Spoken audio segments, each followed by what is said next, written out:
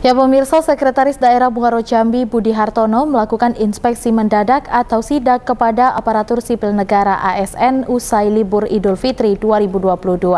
Dalam sidak tersebut, Sekda mendapati sejumlah ASN yang masih absen tidak hadir.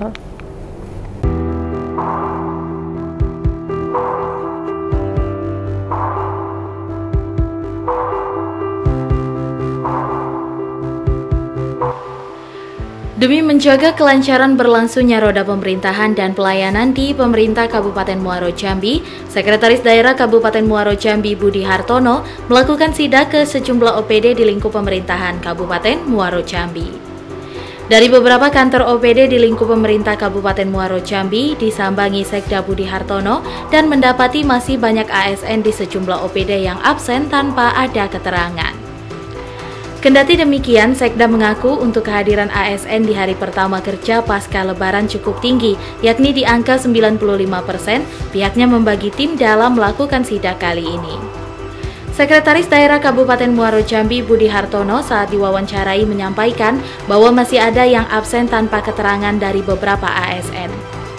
Ada yang masih dalam perjalanan, ada juga yang masih di kampung halaman, dan sesuai aturan hanya ASN dengan keterangan sakit yang diperbolehkan absen di hari pertama kerja pasca lebaran. Tingkat kehadiran, Alhamdulillah tingkat kehadiran, kalau saya belum uh, melihat secara rinci, tapi dari beberapa OPD kami datangi tadi, itu sudah di atas 95 persen. Ya. Ada beberapa yang belum hadir, karena berbagai macam alasan tapi alasan yang bisa kita toleransi hanya alasan sakit deh. Ada tadi yang tidak hadir karena masih di iya. perjalanan yeah. ada yang masih di yeah. kampung halaman itu kita tidak uh, toleransi terhadap alasan-alasan seperti itu. Untuk sementara berapa jumlahnya ya? Untuk sementara berapa jumlahnya untuk kami belum bisa ya nanti mungkin akan kita inventarisir berapa berapa jumlah secara keseluruhan. Karena lima tim ini nanti setelah ini kita evaluasi ketemu uh, untuk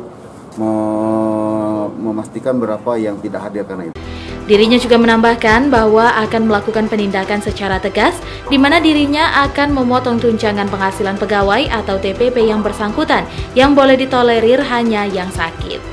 Novia Putri Sanjaya, Cek TV, melaporkan.